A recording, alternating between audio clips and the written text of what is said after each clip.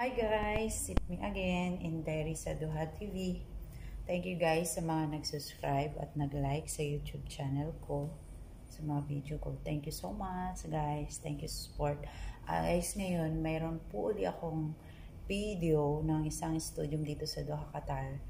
I-upload ko po. Samahan niyo po ako. Tara!